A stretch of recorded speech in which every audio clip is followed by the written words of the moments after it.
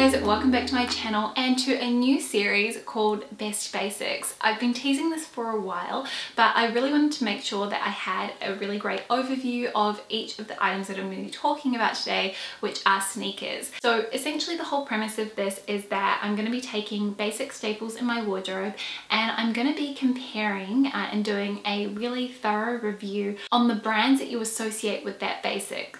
So for sneakers, I've got I've got seven sneakers here. I actually tried to incorporate an eighth one, but they were a no-go. I'm going to talk about that.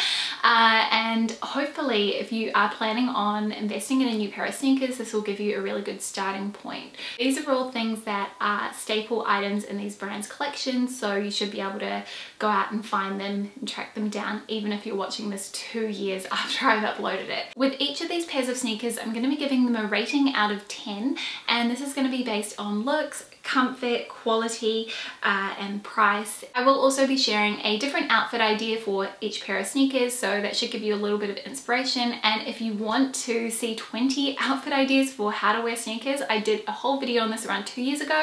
I'm gonna link it up here if you would like to go and watch that after this one. Oh, the other thing I wanna mention is I am going to have timestamps here on the screen of when each of the sneakers pops up in case you just wanna jump right ahead to a review of a particular pair. The other thing I want to talk about before I dive right in is my shoe size and also uh, any other, I guess, peculiarities about my feet. So I'm a European 40 or a UK size 7 or a US or a 9. I wear a US 9.5 in Everlane shoes as I find their uh, styles do run half size small compared to other brands. Uh, also, I do have a bunion on my left foot and I have wide feet. So all of the reviews that I'm going to be giving are going to come from that perspective. Obviously this means that narrow shoes typically do not work very well for me. So if you have narrow feet, I will try and specify within the review that this might be a better shoe for you or not. Now I have worn all of these sneakers a minimum of 10 times, so I've really gotten a good sense of how they wear, um, the general wear and tear that you're going to get over time, and also how comfortable they are. I'm going to start with my oldest pair of sneakers, and they are the Veja Esplar sneakers. So these were a gift from my husband and at the time that he purchased them they were 102 Australian dollars uh, and these are an ethical and sustainable sneaker brand. So there's actually a really great podcast that you can listen to with Clare Press from Wardrobe Crisis with the founders of Veja and I highly recommend listening to that if you want to learn a little bit more about the brand. I will leave it linked down in the description box below. Now these sneakers are pretty basic. They're cut quite low around the ankle which I personally like. I think that is really flattering especially because it kind of highlights the narrowest point of your leg. These are the natural colors so they've got got just a sort of a beige suede tab at the back and they're quite a streamlined design so they aren't super chunky or anything like that. They're quite slim fitting. Uh, in terms of how they fit, I've got a UK 7 or the the uh, European 40 and they do fit true to size. Veja sneakers only come in whole sizes so if you're in between sizes I would recommend sizing up as opposed to sizing down because I think otherwise they'll just be way too snug. One thing I want to say about these sneakers is they do take some time to wear in, which is a little bit of a pain. And I still find even now, after I've worn them over 20 times, that they are occasionally uncomfortable. And it all has to do with how tight I tie the laces.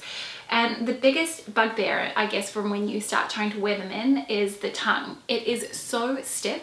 The leather on these are great quality, but you'll see they do kind of, it, it does uh, crease because it is more of a stiffer leather but the tongue is so stiff that it will dig into the front of your shin so you will end up getting a blister there and that's what I found I got the first six times that I wore them.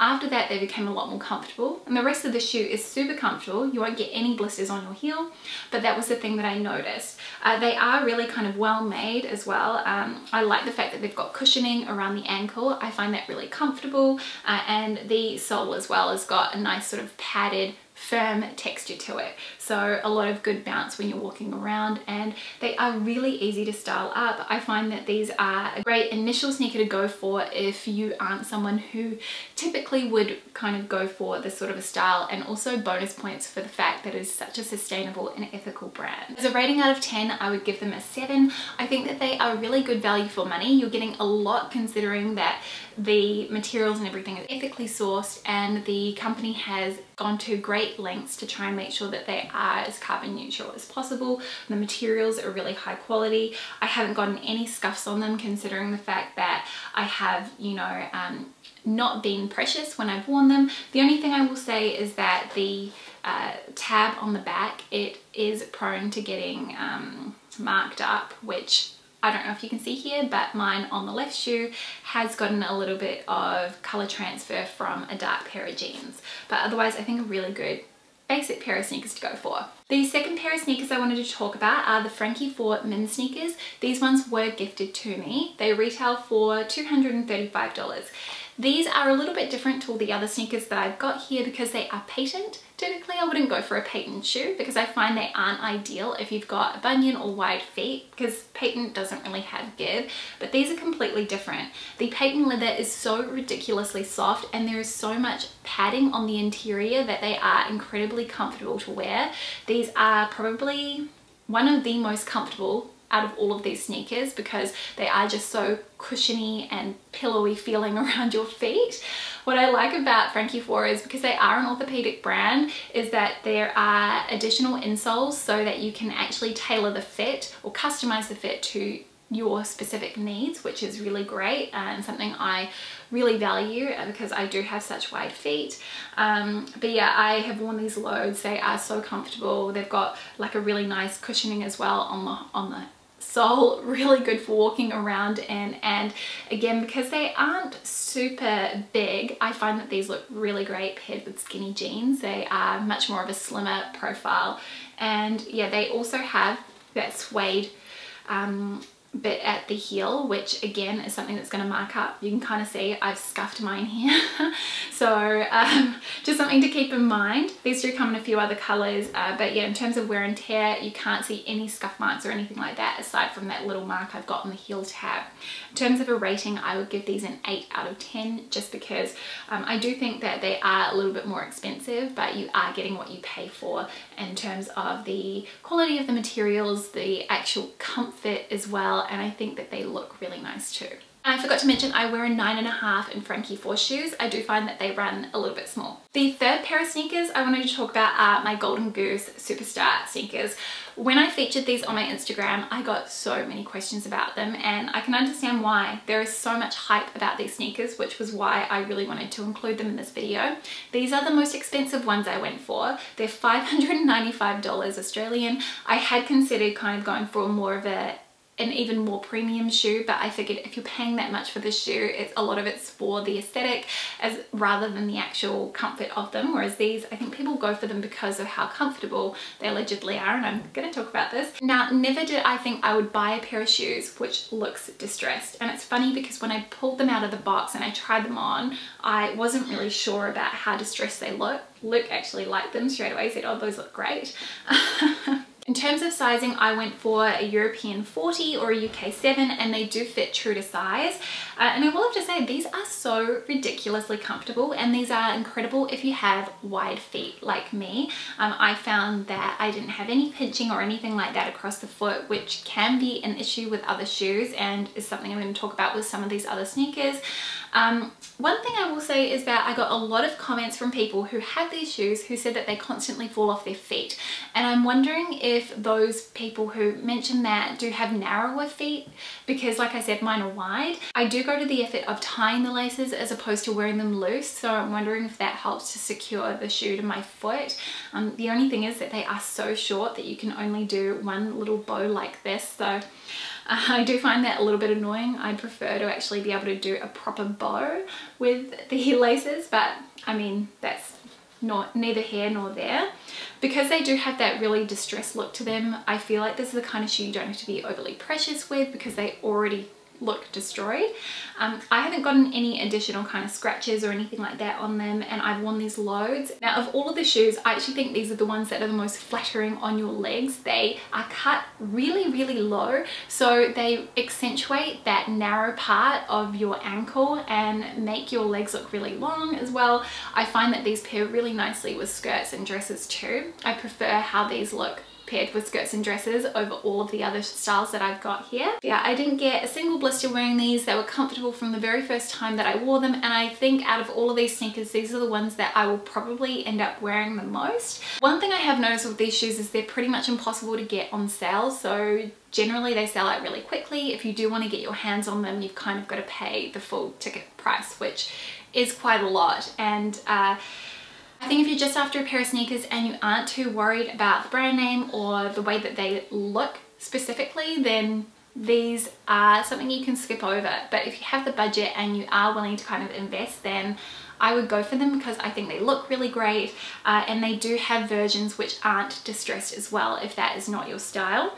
Um, I give these a 7 out of 10 and really I just docked points because of the price. I think they are so, so expensive um, for what they are for a leather shoe, um, but I do absolutely love them and they're ones, like I said, I know I'm going to wear loads. The next pair of sneakers that I've got here are the Everlane, I think these are the Court sneakers. These aren't the tread ones. These are a bit more of a slimline profile to the tread sneaker. Um, and they kind of have a little bit of an 80s vibe to them I feel like. I got the dark green color so they have this dark green leather tab at the heel. These ones were gifted to me and they retail for 161 Australian dollars or at least at the time I did the exchange. I think they're a bit cheaper now because the US Australian exchange rate has changed. Uh, in terms of these, they were super comfortable from the very first time that I wore them. These are really fantastic if you have wide feet because I found that uh, they do run quite wide across the foot. Um, I didn't get any blisters. Sizing on them is pretty funny. You have to size up a half size. So I wear these in a US 10. I usually wear a US 9.5. Um, they are a unisex style as well. So the leather's got kind of like a squishy texture to it, but then it also feels really hollow and boxy on your foot. And that's really the best way that I can describe it. Uh, they do have some nice padding on the, on the sole and I find these really comfortable to walk around in. Worn them quite a lot when I've gone for walks with our son. But yeah, they're just a really good overall basic sneaker. If you want something that's a little bit chunkier, but that isn't super chunky, these are probably a good one to go for. I haven't gotten any scratches on them though you may be able to see I've got a small mark here which I'm sure will just come off if I give it a little bit of a clean with a baby wipe or something like that. Uh, and the laces aren't too long either which is an issue with one of the or two of the pairs of sneakers that I've got here. But yeah, just a really good basic staple. In terms of the rating that I would give them, I give them a 6 out of 10 and that is more I think to do with the fact that they do feel a little bit hollow on my feet. I do think they are a little bit more expensive compared to some of the other sneakers that I've got here which I find more comfortable.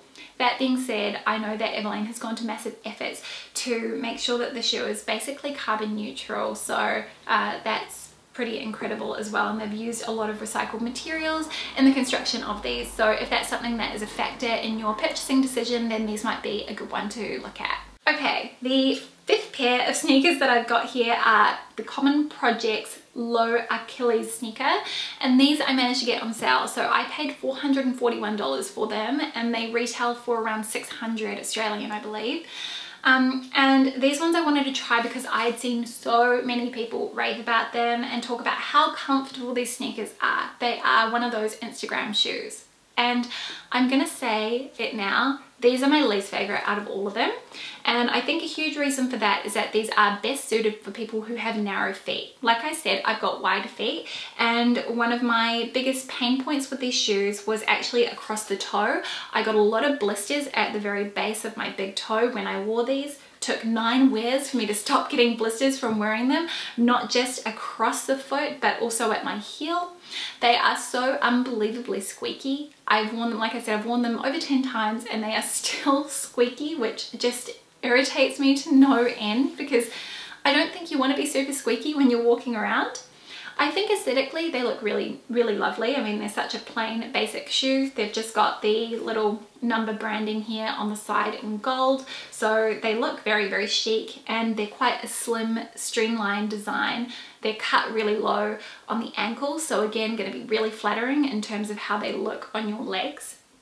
But um, honestly, I don't really think that they're worth the money. They've got a really firm insole. Oh, I watched a really fantastic video. I can't remember the name of the um, man who runs the channel, but he cuts one of these shoes in half and he talks about the material and the quality of the materials used uh, and it was really really fascinating and eye-opening. So I'm going to link that down in the description box below if you'd like to go and learn a little bit more about the construction of these shoes because that to me further cemented my opinion that they are not worth the price tag. Uh, and I do think if you can get them on sale if you just have your heart set on them or if you've got narrow feet try and get them on sale as opposed to paying for them full price.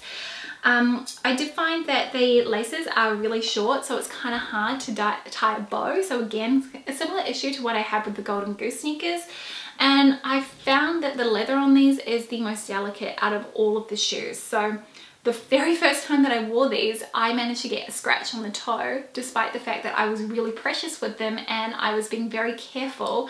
And yeah they've, they've kind of um, scratched actually scuffed on both toes. So it's not just the one it's both. So that's really disappointing for me for a pair of shoes that I've paid several hundred dollars for. I do find that they are much more comfortable if I try and widen the laces across the widest part of my foot but you will be able to see hopefully in the video that there is a bit of stretching and there is some funny creasing uh, along that part of the shoe in terms of sizing, these fit an entire size large. So I've got these in a 39 uh, and that's just across the board. That is the recommended sizing to size down. In terms of a rating for these shoes, I would give them a 3 out of 10. For one, they are so expensive and when you're spending that much money on a shoe, you expect to be paying for really high quality materials and also you kind of want the shoe to be really comfortable, which it took a really long time for these to even be relatively comfortable on my feet. Um, I've found the quality of the materials not fantastic because like I said, they've scuffed really easily. Um, and aside from kind of liking the way they look aesthetically, there isn't really much I like about these shoes. They are so squeaky. Um, I am going to continue to wear them because I spent so much on them, but I would definitely think again. And I'm really disappointed because I've just heard so many people rave about them. So, I mean, you may have these shoes and love them. And if you do, I think that's fantastic. And I'm so happy for you. They just didn't work out for me. Uh, and I suspect it's probably in large part down to the fact that I have white feet. The next pair of sneakers I have are the Reebok Club C85 sneakers and these are in the chalk color. These are the most affordable out of all of the sneakers that I got. I managed to get them on sale from ASOS. I think I bought them for $78 which is a really incredible price. Uh, I was very very happy with that. Um, these remind me totally of a sneaker that you would kind of wear in the 80s, even the early 90s. I'm pretty sure I had sneakers like this when I was a kid. they do have a really old school vibe to them. The interior almost has kind of like a flannel lining to it and it almost feels a little bit sparse but they are so comfortable. They are really cushiony. The first time I tried these on, Luke saw them on me and he loved them and he bought a pair and he adores his shoes. So we've got matching sneakers. These are just a different color. Uh, but yeah, these were the most comfortable out of all of them straight off the bat and from that perspective alone I would recommend them. The sizing on them is funny and I think I picked a European 40 which here it says is a seven and a half USA and a six and a half UK. Now, like I said, I'm usually a seven size 7 UK um, and I did find when I first put them on that they felt almost a little bit short but it hasn't been an issue for me at all so I'm not sure if there's just been a bit of extra give in terms of the length um, maybe they've kind of pushed back a little bit here at the heel. The sole isn't very squishy, but I do find them very comfortable to walk in, especially long distances. As I mentioned, the sizing is funny. These are more of a chunkier style, which I also find really flattering on your legs. I think that's why those Balenciaga sneakers are so popular. Uh, and these are the kind of shoe that I find work really well with slimline track pants and also with kind of skirts or dresses to kind of dress them down a little bit. In terms of a rating, I would give these a 9 out of 10 for one, they are so affordable and in terms of the quality of the materials, I mean, they have held up really well so far and these are ones that I really enjoy wearing when I'm going for a walk. Um, they haven't really creased up much across the foot uh, and the interior is like perfectly intact, still really squishy kind of along the sides, um, even though the sole, like I mentioned, is not is a little bit more firm. I think they look pretty good in terms of buying into this more dad sneaker trend.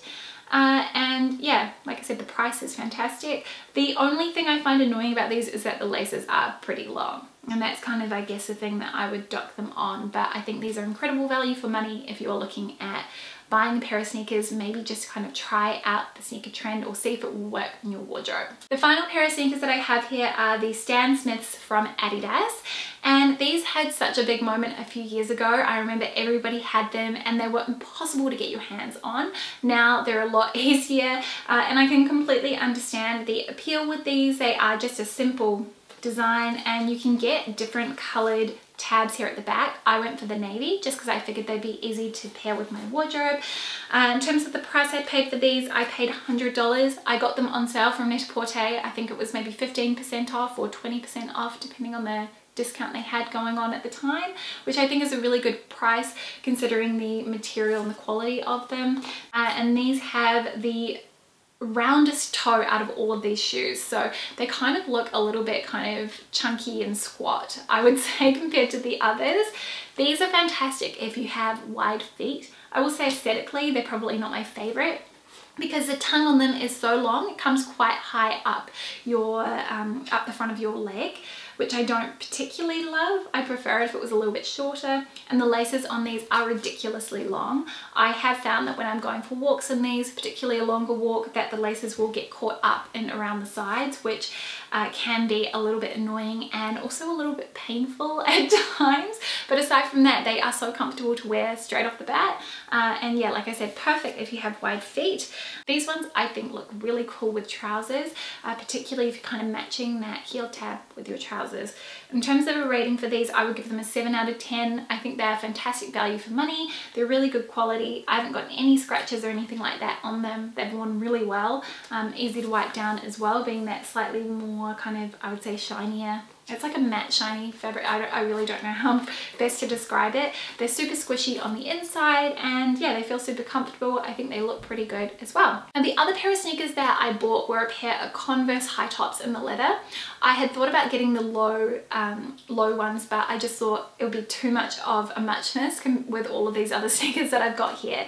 And I had to send them back. I tried them on and they were so uncomfortable. The leather cut into my uh, skin and I also found that they were really, really unflattering. I thought there's no point trying to uh, incorporate a pair of shoes into my wardrobe that I know I'm not going to wear just for the sake of a review and given how they felt from trying them on I didn't think they were going to be a winner. The other brand that I got requests to include in this video was Spring Court and I'm so sorry I didn't but they do look really incredible and I'm going to leave a link to them down below if you wanted to go and check them out. So that is kind of a look at sneakers and I really hope that you enjoyed this intro into my Best Basics series. I hope it was really informative as well. I want to do kind of skinny jeans or t-shirts for my next one. So if you have any brands that you kind of associate with those two items in your wardrobe, let me know because I have been trying to narrow it down to less than 10 brands for each one and I'm struggling. So I think I'm going to go with consensus for those ones just to make sure that I am kind of on the same page as all of you.